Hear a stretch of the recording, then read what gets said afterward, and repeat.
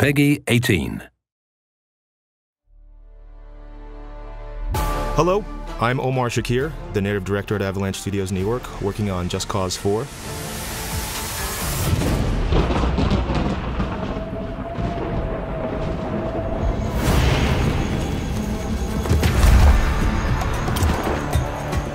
In this mission, Rico's pursuing a massive tornado as it weaves a path of destruction throughout the grasslands.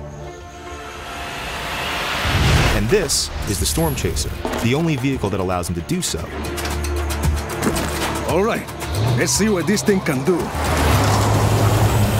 Thanks to Avalanche's new Apex engine, everything you see, as well as the trajectory of every spiraling object, is being calculated in real time.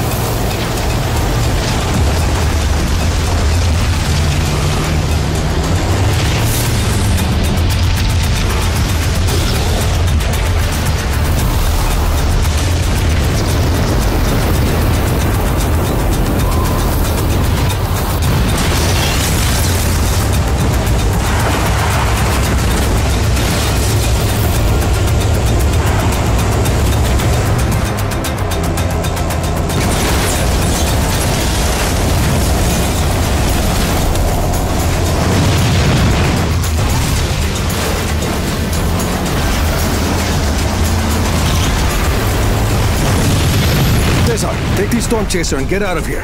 I'll get the tornado back on track.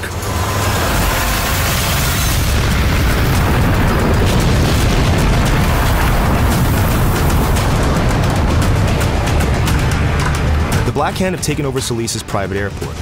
And to progress, Rico must take out the wind cannons that are holding the tornado at bay.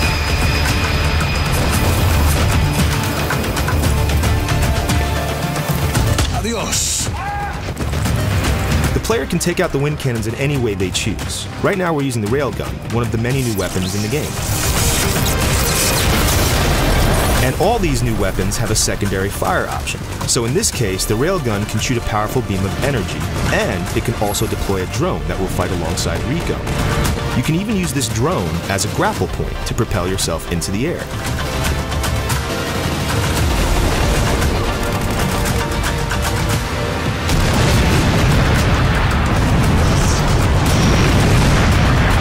For the next cannon, let's get more creative and use some new features of Rico's grappling hook.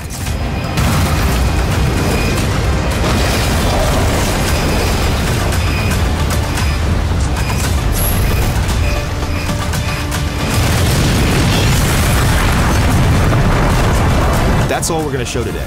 It's just a small glimpse of what to expect in Just Cause 4. And there's plenty more to come when you play yourself on December 4th.